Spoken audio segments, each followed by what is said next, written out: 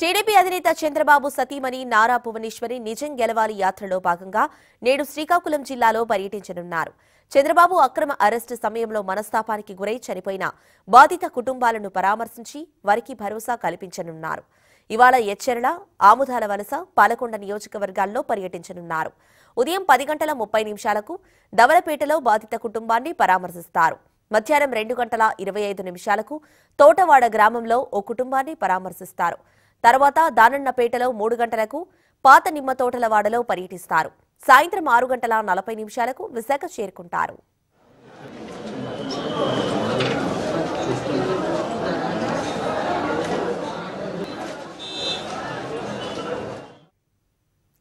నిన్న విజయనగరం జిల్లాలో పర్యటించిన భువనేశ్వరి ముందుగా టీడీపీ కార్యకర్త కోరాడ అప్పారావు కుటుంబాన్ని పరామర్శించారు. అప్పారావు భార్య పద్మావతి కుమారుడు జయంత్ సాయితో మాట్లాడి వారి సమస్యలు తెలుసుకున్నారు. బాధిత కుటుంబానికి మూడు లక్షల చెక్కును అందించి టీడీపీ ఎల్లవేళలా అండగా ఉంటుందని భరోసా కల్పించారు.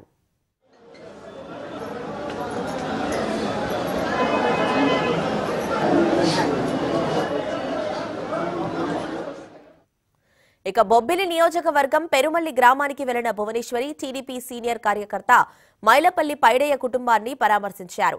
పైడయ్య కుమారుడు రాంబాబు కోడలు భారతికి ధైర్యం చెప్పారు. అనంతరం పైడయ్య కుటుంబానికి మూడు లక్షల రూపాయల చెక్కును అందజేశారు. టీడీపీ అధికారంలోకి వచ్చాక ప్రభుత్వ ఇల్లు మంజూరు చేస్తామని హామీ ఇచ్చారు.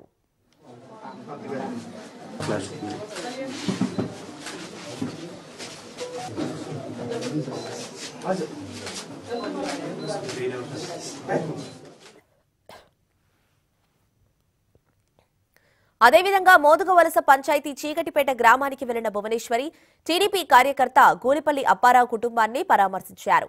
అప్పారావు భార్య పైడాలమ్మ కుమారులు సత్యనారాయణ రామారావు నాయుడిని పరామర్శించి ధైర్యం చెప్పారు. టీడీపీ అండగా ఉంటుందని భరోసా ఇచ్చారు. అనంతరం అప్పారావు కుటుంబానికి మూడు లక్షల రూపాయల చెక్కును అందజేశారు. పంతొమ్మిది వందల చొప్పున వచ్చారు. అక్కడ వరకు.